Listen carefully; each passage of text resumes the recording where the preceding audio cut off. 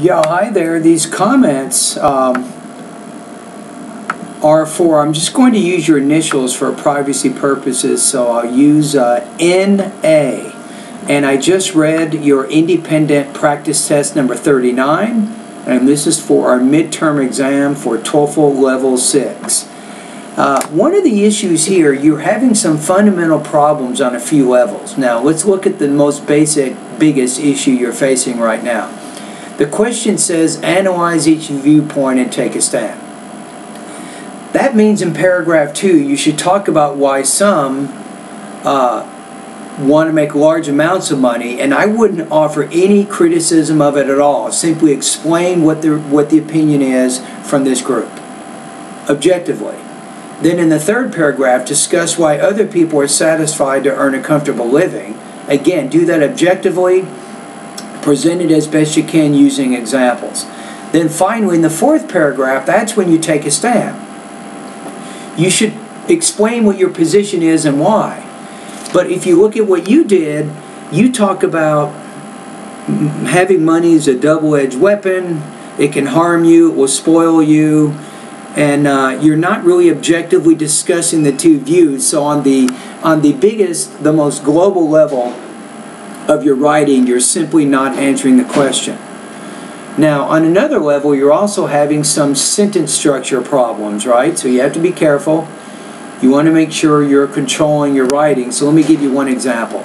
In the second paragraph, you say, having the money is a double-edged sword. It will benefit you. That's a comma splice because you're using the word yet. Yet is a conjunction, but that can only join the previous independent clause and the one which comes after. You can't use it to join two of the previous sentences. So putting the comma after weapon, that creates a sentence formation error, so be careful about that. Now also your vocabulary is very, very, very simple. You want to demonstrate a little bit better command, I think, over the language than what you're doing in this particular way. You say having money is a double-edged weapon. It will benefit you in many ways that you can never imagine, yet it will harshly harm you. But you didn't give any examples in that paragraph that show how it's a double-edged weapon. A double-edged weapon means it has positive and negative um, results. You say it will benefit you in ways that you can never imagine. You say it will spoil you.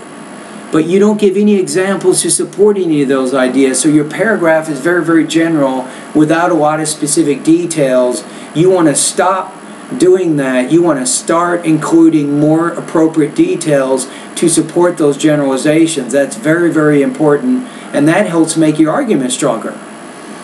All right, so those are some basic comments. I just wanted to point out one of your paragraphs and then give you an overall idea of how you will score and why. Now, based on the rubrics, I don't think you're going to score very well on this one. Uh, I'm going to put you at about 2.25 out of 5.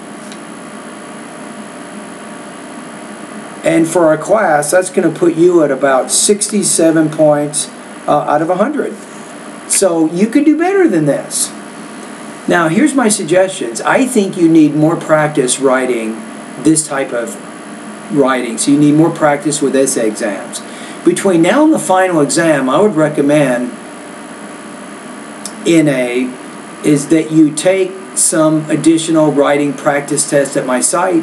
I'll make sure that my teaching assistant grades them in a timely manner and you, you just need more practice. You don't have enough practice. So as you're practicing, you want to work on developing your ideas with more detail. You want to work on using better vocabulary, higher level vocabulary, and absolutely, you want to make sure that you answer the question, whatever that question is, make sure you directly organize your response around that.